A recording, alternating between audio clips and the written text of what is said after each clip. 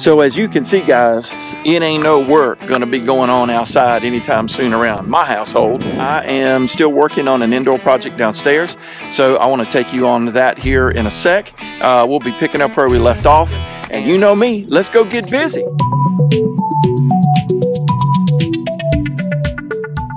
Okay guys, I'm down in the basement and getting ready to get started and obviously you can see sheetrock is up and this is something I do not want to do. I wanted to hire this out so bad and I just can't find anybody to come and do this work.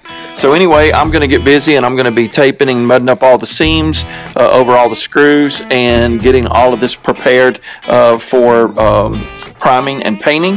And so guys, I don't want to do this, but let's go get busy.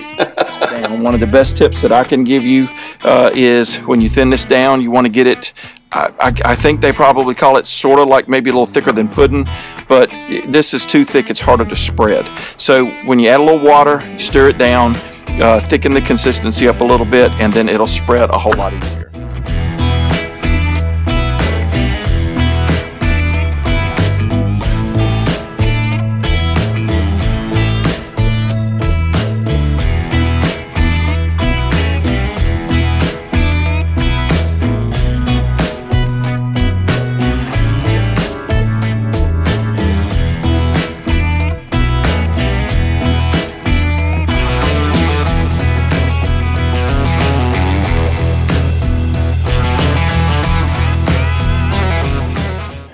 So guys, one of the biggest difference you'll see and how it's a telltale sign you're looking at a pro or an amateur is pros don't make a mess.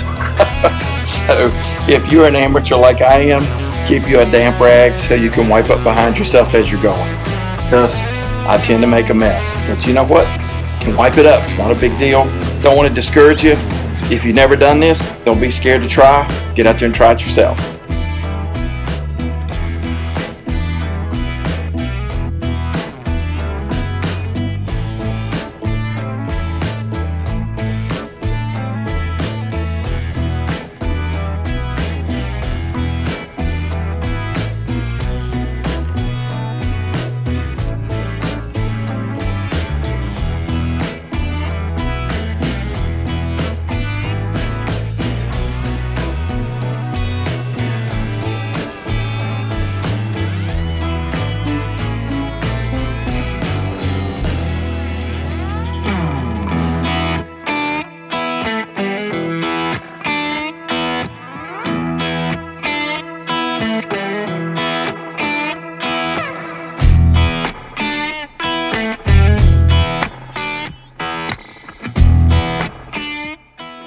Speaking of messes, one of the things that I noticed from watching other videos of the pros doing it is they're constantly cleaning their blade.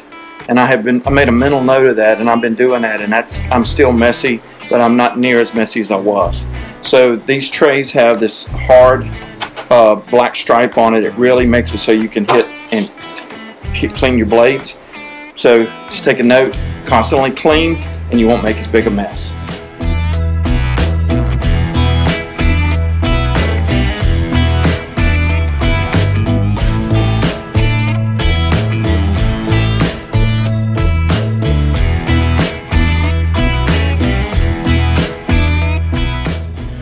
Okay guys, let me spin the camera around and I'll show you. So this is the first coat of tape and mud.